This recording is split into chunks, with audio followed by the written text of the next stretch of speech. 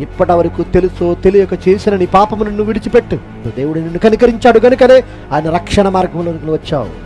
రక్షణ మార్గంలోనికి వచ్చి కూడా నీవు నీ పాత జీవితం లాగా అంతకంటే ఘోరమైన దుస్థితులు నువ్వు ఇక్కడ అనుభవిస్తే ఈ లోకపు మాయను నువ్వు ఆస్వాదిస్తే సొలోమోను కనికరించాడేమో గాని సత్యమును గురించిన అనుభవ జ్ఞానము తెలిసిన తరువాత బుద్ధిపూర్వకముగా పాపము చేస్తే మనకు కనికరం లేదు. తెలిసి కూడా నువ్వు తప్పు చేస్తే దేవుని జ్ఞానము తెలిసిన తర్వాత కూడా తప్పు చేయకూడదు దేవుడు శిక్షిస్తాడని వ్యభిచరించకూడదు దేవుడు నరకానికి గెంటేస్తాడని హత్య చేయకూడదు అబద్ధం ఆడకూడదు అబద్ధ సాక్ష్యం పలకూడదు అసూయ ఉండకూడదు ద్వేషం ఉండకూడదు కలహం ఉండకూడదు మస్తరం ఉండకూడదు. ఇవన్నీ ఉంటే ఇవి శరీర కార్యములు.